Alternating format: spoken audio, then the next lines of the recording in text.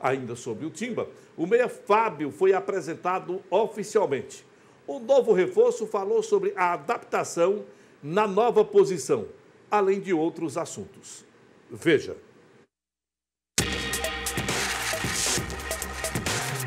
Eu tinha outras opções, mas eu acreditei no projeto. O Jorge ligou, falou comigo, pediu para eu vir para acreditar no projeto, o próprio Márcio. E como eu gosto daqui de Recife, minha base toda foi aqui, eu já estou muito bem adaptado aqui, eu preferi vir para cá, acreditar no projeto e para voltar de novo ao mercado. Porque eu fiquei cinco meses desempregado e eu sei o que é isso, sei como é difícil. Vai ser mais um clássico, as duas equipes vão, vão entrar para ganhar, óbvio. A rivalidade vai existir sempre, é, as polêmicas também, mas eu estou defendendo a camisa do Náutico e é o clube que, que paga meu salário hoje. Eu posso dizer que é o clube que me abriu as portas e eu estou muito feliz aqui e vou, vou entrar sempre para ganhar, independente contra quem for, contra Esporte, Santa Cruz, Salgueiro, Flamengo de Arco, de Arco Verde, eu sempre vou entrar para ganhar. Jogo importante, muito importante para o clube.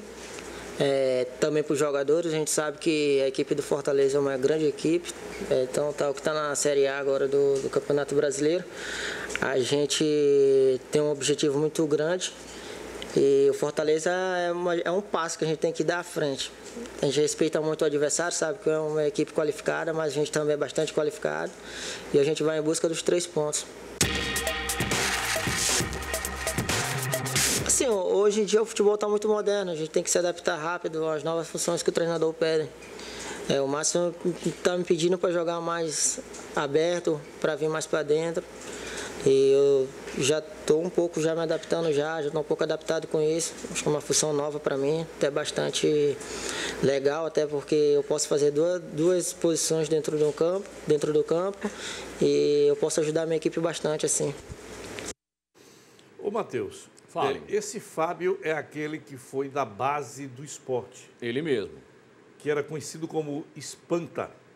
Sim. Aquele comediante, né? É, é, é, vejam só, ele estava em Belém do Pará recentemente, não foi? Ele estava no Paysandu, sim. No Paysandu. Aí, Passou cinco meses, como ele disse, desempregado. Ah, preste atenção. Esse menino joga muita bola. Ele tem muita bola para jogar, aliás. Tem talento, ele é, tem, tem talento. talento. Agora, ele é conhecido lá em Belém como irresponsável, maloqueiro. Isso é como ele é conhecido em Belém do Pará. Menino. Eu não estou inventando história. Eu tenho um amigo que me dá essa referência dele. Aliás, eu vou me aprofundar mais. Tem um treinador que trabalhou com ele lá em Belém, e eu perguntei a esse treinador, e fulano? Aí ele disse, não consegui trabalhar com ele. Eu disse, é mesmo? Ele disse, é, não se cuida. Essa expressão é de um amigo treinador. Agora, a de maloqueiro e de irresponsável é de um colega da imprensa lá de Belém.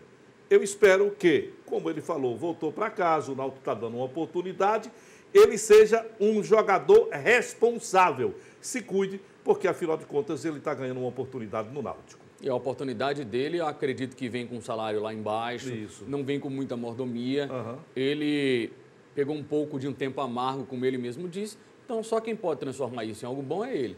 É verdade. E não adianta ficar com o beicinho, não, viu? Como é o nome dele? Fábio. Fábio. É, espanta. Ô, Espanta, não adianta tu ficar com o beicinho, não.